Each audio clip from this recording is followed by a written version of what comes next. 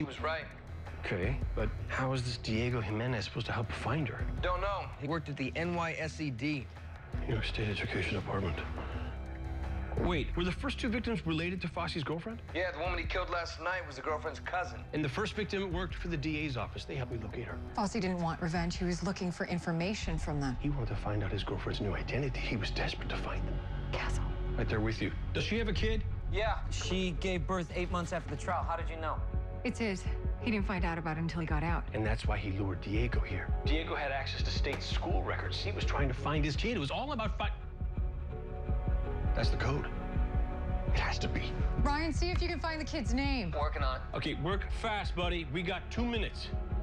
The story didn't make sense. Fosse was desperate to see his kid just once before he dies, but the mother has hidden the child away, so Fosse lashed out, doing whatever it took to track them down. Told you we'd figure this out. Castle, there's barely a minute left. You've got to go. Not yet. Please, if he finds the name, I'll type it in myself. If not, He'll come through.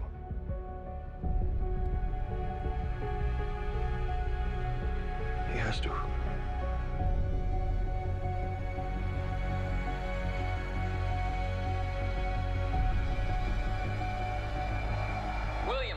Kid's name is William. Seven letters. Billy. Or Willie. What kind of mother's gonna call her kid Willie unless she wants his ass kicked every day at the playground? Guys, 15 seconds. Your call, Beckett. Billy, go. B,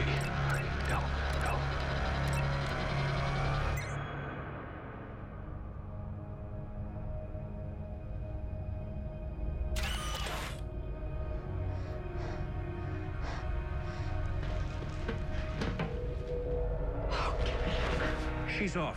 She's off.